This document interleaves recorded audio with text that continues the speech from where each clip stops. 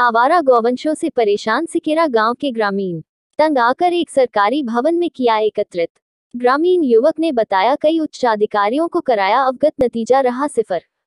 फिरोजाबाद थाना मतसेना के गाँव सिकेरा में आवारा गौवंशों से परेशान होकर किसानों ने सरकारी भवन जो कि पानी की टंकी का परिसर बताया गया उसमें उनको एकत्रित कर दिया।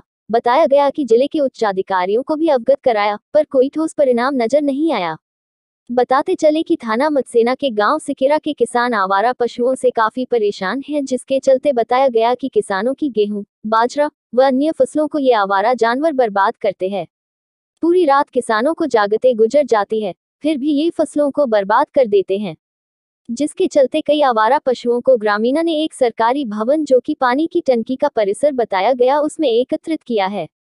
ग्रामीण युवक ने बताया कि उसने डीएम महोदय एसडीएम साहब व सीडीओ आदि उच्चाधिकारियों को फ़ोन पर अवगत करा दिया है। एक बार नहीं, चार चार, पाँच पाँच बार कॉल किया है। कॉल रिकॉर्डिंग भी है। प्रशासन की तरफ़ से कई ठोस आश्वासन नहीं मिला। बस यही कहते रहे, आ रहे हैं। बस यही परिणाम नज़र आया।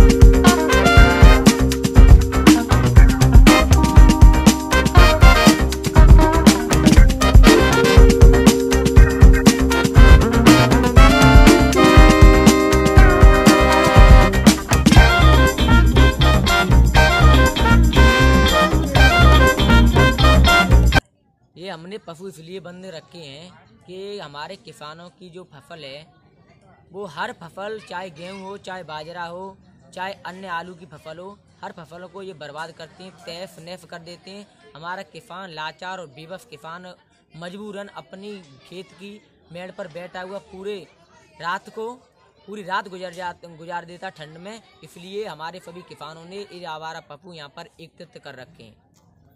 आपने प्रशासन को इससे अवगत कराया क्या?